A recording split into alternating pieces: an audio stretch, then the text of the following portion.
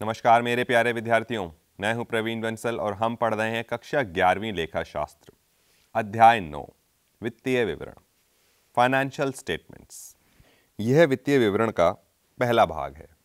आपकी पुस्तक में वित्तीय विवरण के दो अध्याय हैं, अध्याय नौ, अध्याय दस।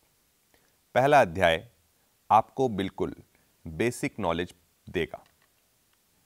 वित्तीय विवरण का मतलब है फाइनल अकाउंट्स फाइनल अकाउंट्स अर्थात आपके खातों का अंत। वित्तीय वर्ष के खत्म हो जाने के बाद जो खाते बनाए जाते हैं, उन्हें फाइनल अकाउंट्स कहते हैं। इसका मतलब पुस्तक में किस तरह से दिया गया है, चलिए देखते हैं। आप पढ़ चुके हैं कि वित्तीय लेखांकन एक सुप्रभाषित क्रमिक प्रक्रिया है। जैसे रोजनामचा, जिसको आप अंग्रेज़ी में जर्नल कहते हैं। खतौनी मतलब पोस्टिंग, खाते बनाना, लेजर और तलपट मतलब ट्रायल बैलेंस को तैयार करने से प्रारंभ होती है। इस अध्याय में आप वित्तीय विवरण को तैयार करना और विभिन्न पणधारियों से संबंधित विभिन्न प्रकार की आवश्यक सूचनाओं, पूंजी और आगम मदों के मध्य अंतर और इनकी उपयोगिता तथा वित्तीय विवरणों के प्रकार व इन्हें तैयार करने की विधि समझ सकेंगे।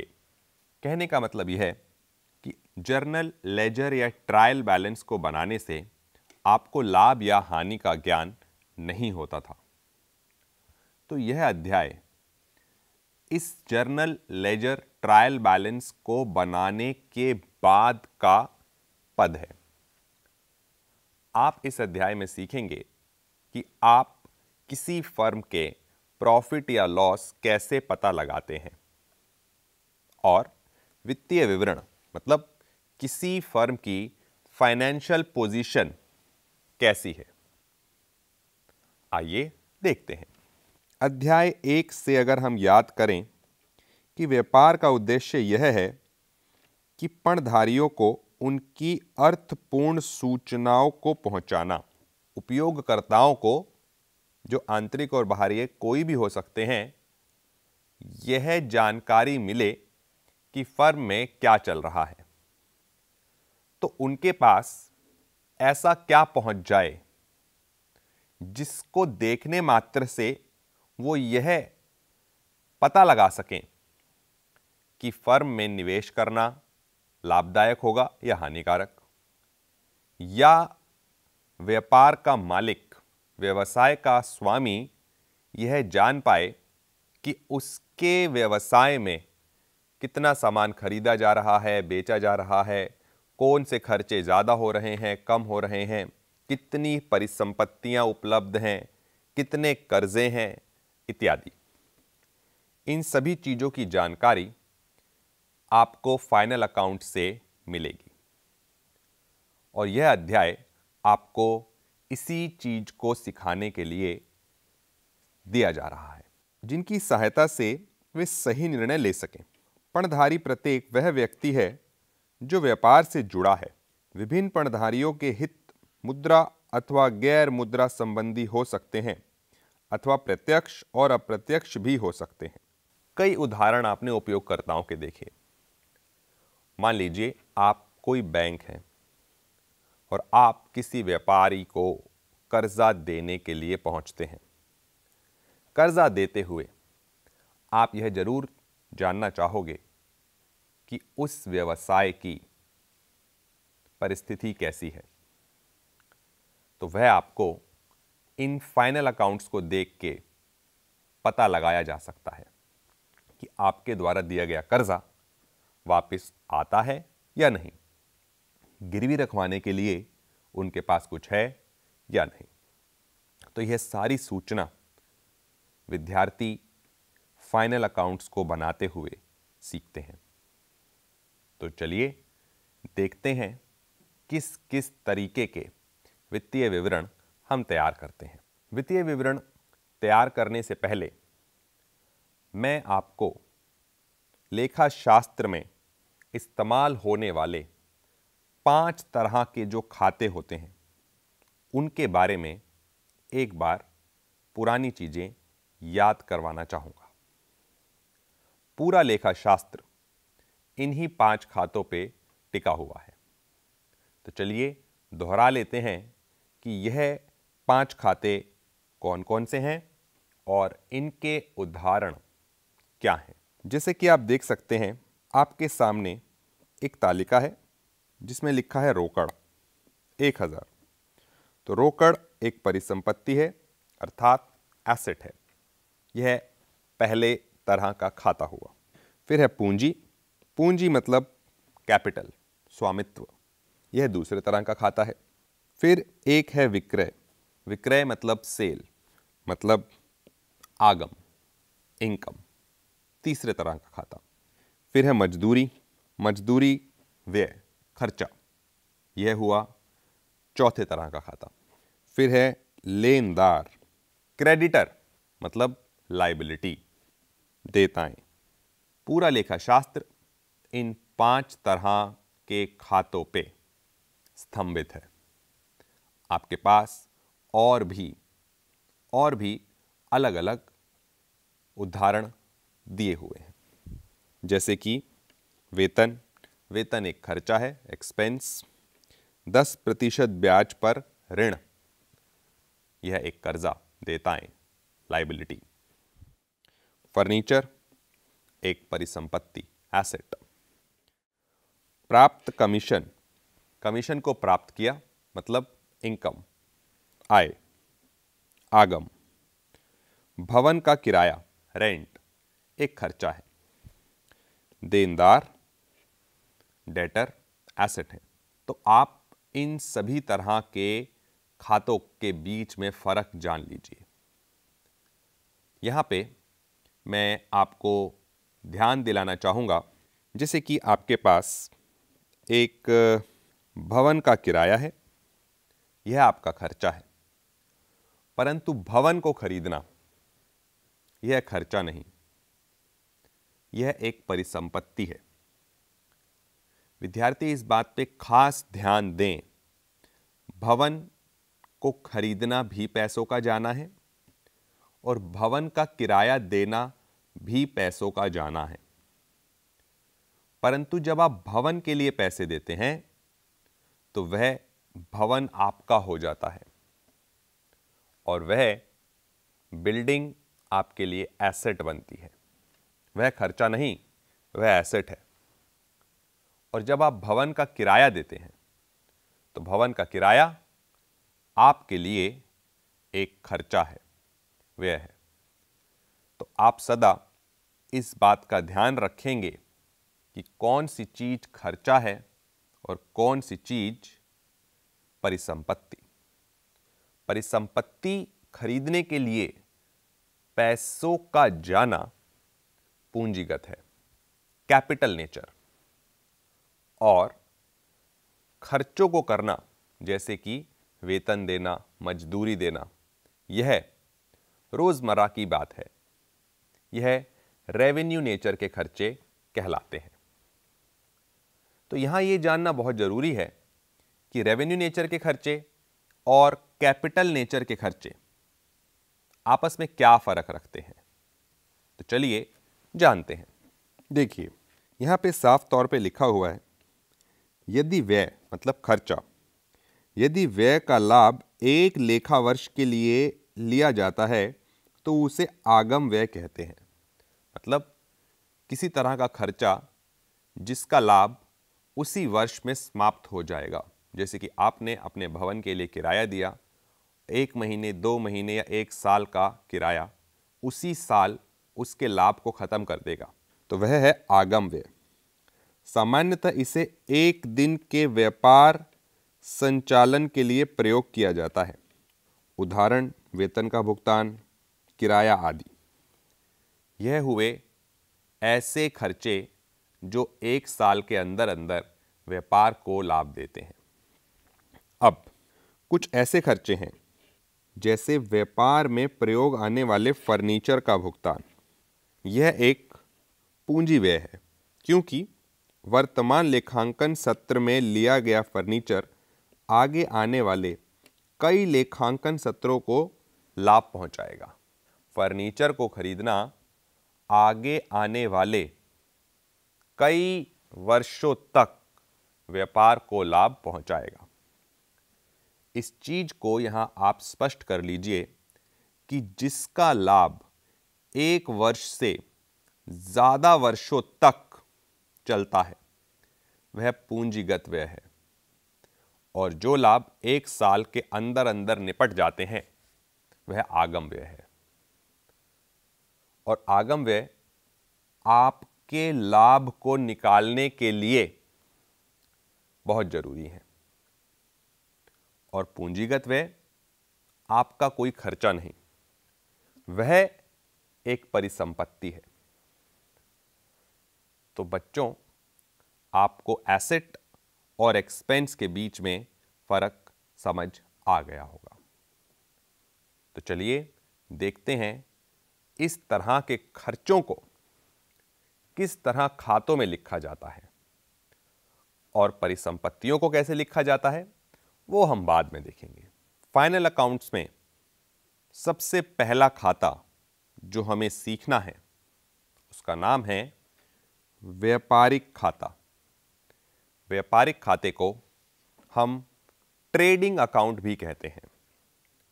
जैसा कि नाम ही बता रहा है, व्यापारिक, ट्रेडिंग, सामान को बेचना और खरीदना। ध्यान दीजिए, यह फाइनल अकाउंट्स का पहला कदम है, व्यापारिक खाता। व्यापारिक खाता इसलिए बनाया जाएगा ताकि हम यह पता लगा सकें कि सिर्फ़ और सिर्फ़ सामान को खरीदने और बेचने से हमें क्या लाभ या हानि प्राप्त हुई। मैं फिर से दोहराना चाहूँगा, सामान को खरीदने और बेचने से हमें क्या लाभ और हानि हुई। सिर्फ़ खरीदने बेचने से। चलिए देखते हैं। वर्ष 2005-6 में मैसर्स प्राइम प्रोडक्ट्स के लिए निम्न तथ्यों के आधार पर व्यापारिक खाता तैयार करें। देखिए, आप इसको एक कहानी के रूप में समझिए। आप एक व्यापारी हैं, जिसके पास वर्ष के प्रारंभ में पचास हज़ार रुपये का स्टॉक पहले से ही है। पचास हज़ार। तो वह आप व्यापारिक खाता के डेबिट साइड पे लिखिए। पचास हज़ार। और अब आपको ऐसा लगता है कि यह पचास हज़ार बहुत कम है। एक दुकानदार को पचास हज़ार रुपये का सामान बहुत कम व्यतीत हो रहा है। तो उसने क्या किया? उसने एक लाख दस हज़ार रुपये का सामान और खरीदा। परंतु उसमें से सात हज़ार रुपये का सामान उन्हें ऐसा लगता है डिफेक्टिव है या वह खराब है।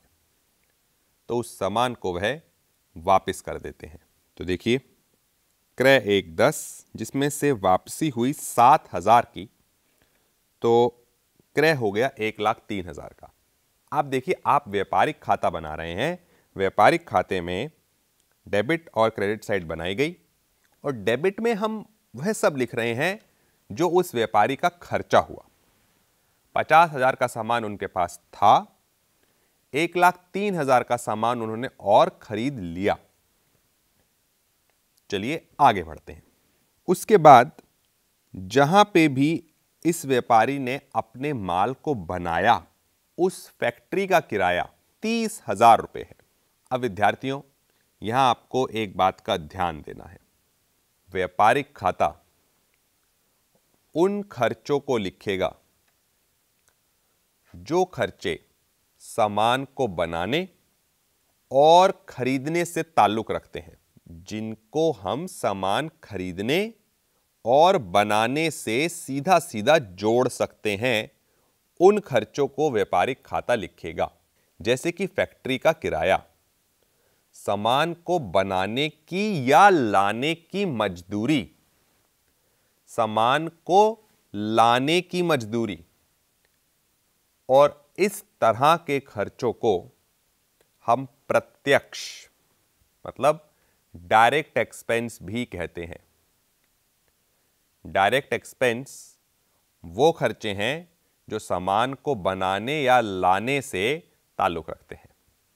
तो आप देखिए सामान जितने का भी लाया गया, उसको लाने पे या बनाने पे जो भी खर्चे हैं, वह सामान के साथ लिखने होंगे। जैसे कि फैक्ट्री का किराया इस उदाहरण में दिया हुआ है। फिर दिया है मजदूरी। मजदूरी अर्थात सामान को बनाने की मजदूरी। चालीस हज़ार। तो वह भी आप यहाँ लिख देंगे। तो आप देखिए, डेबिट साइड में पचास हज़ार का आपके पास सामान था, एक लाख तीन हज़ार का आपने सामान और खरीदा और तीस हज़ार और चालीस हज़ार, सत्तर हज़ार के प्रत्यक्ष व्यय आपने कर दिए। तो यदि मैं इन सभी को योग करूँ तो मैं पाता हूँ कि ये मेरे व्यापार में लगाई गई पूंजी है। ओपनिंग स्टॉक सामान का खरीदना और सामान के खरीदने से संबंधित जो भी खर्चे हैं वो। अब यह सामान हमने क्यों खरीदा? यह सामान हमने क्यों बनाया? यह सामान बनाया गया बेचने के लिए। सामान बेचा कितने में गया? सामान बेचा गया तीन लाख में, परंतु उसमें से पाँच हज़ार का माल वापसी आ गया। तो देखिए, अगर आप खर्चे डेबिट में लिख रहे हैं तो पैसों का आना आप क्रेडिट में लिखेंगे। और यह सेल तीन लाख में से पाँच हज़ार जाने के बाद दो लाख पंचानवे हज़ार होती है। अब देखिए, क्रेडिट साइड योग है दो लाख पंचानवे हज़ार, डेबिट साइड योग है दो लाख तेईस हज़ार।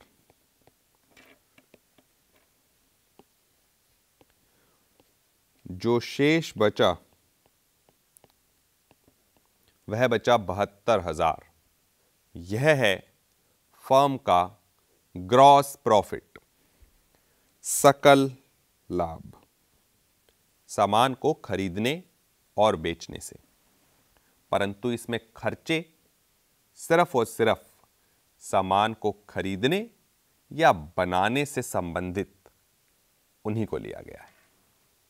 इस तरह से आपका व्यापारिक खाता या ट्रेडिंग अकाउंट बनाया जाता है।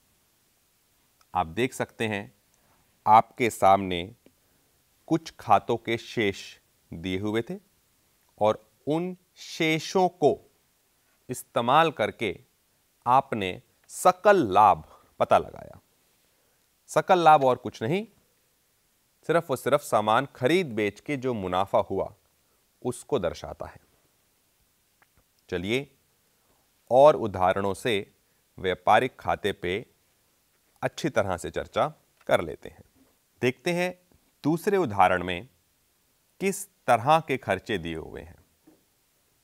विद्यार्थियों, आपको व्यापारिक खाता बनाते हुए सबसे ज़्यादा कठिनाई होगी खर्चों को पहचानने में। इन खर्चों को पहचानना कोई अद्भुत कला नहीं। आप जितने प्रश्न करेंगे, उतनी ज़्यादा इस चीज़ में आप स्पष्टता पाएँगे। जैसे, इस उदाहरण में आपने देखा, क्रय पर ढुलाई मतलब परचेज के लिए कुछ मजदूरी दी गई। तो यह आपके व्यापारिक खाते का हिस्सा बनेगा। परंतु साथ में आपको दिया गया है विक्रय पर ढुलाई। मतलब गुड्स को सेल करने से संबंधित कोई खर्चा। यह व्यापारिक खाते में नहीं आएगा। क्योंकि मैंने स्पष्ट रूप से आपको बता दिया है कि सिर्फ़ उन्हीं खर्चों को व्यापारिक खाते में स्थान मिलेगा जो सामान को खरीदने व बनाने से संबंधित है। इसके बाद फैक्ट्री का किराया यह सामान को बनाने से संबंधित एक खर्चा है। तो इसे व्यापारिक खाते में स्थान मिलेगा। परंतु ऑफ़िस का किराया सामान बेचने से संबंधित खर्चा है। ऑफ़िस मतलब सेल्स के लिए बनाया गया स्थान। एडवर्टाइजमेंट के लिए बनाया गया कोई स्थान। तो यह सब सामान बेचने से संबंधित खर्चे हैं। इन्हें हम व्यापारिक खाते में जगह नहीं देते। तो इसी बात का आपको ध्यान रखना है कि व्यापारिक खाते में किस किस खर्चे को स्थान मिलता है। व्यापारिक खाते से संबंधित बहुत सारे प्रश्न आपकी पाठ्य पुस्तक में दिए हुए हैं। आप सभी इन प्रश्नों का अभ्यास करें। बाकी चीज़ें हम अपने अगले भाग में सीखेंगे। धन्यवाद।